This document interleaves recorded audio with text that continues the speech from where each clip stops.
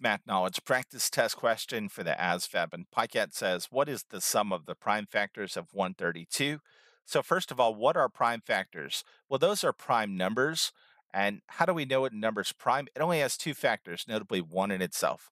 So we can say 2 is prime because its only two factors are 1 in itself.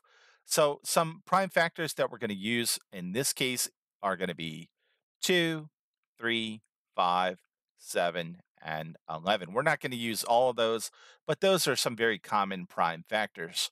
So the way we're going to find the prime factors of 132 is by using prime factorization and a factor tree.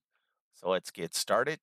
Um, since 132 ends in 2, I know one of its prime factors is 2. The question is, uh, what times 2 gives you 132? Well, let's do 132 divided by 2. Uh, 2 times uh, 6 is 12. 13 minus 12 is 1. Bring down this 2. Uh, 2 times 6 is 12. Since we have no remainder, we can stop. So 2 times 66 is 132. All right, let's keep breaking this one down. Again, you should recognize that 11 times 6 is 66, and 11 is prime. Uh, so let's keep breaking this down. Uh, 3 times 2 is 6. What are our prime factors? 2, 11, 3, and 2.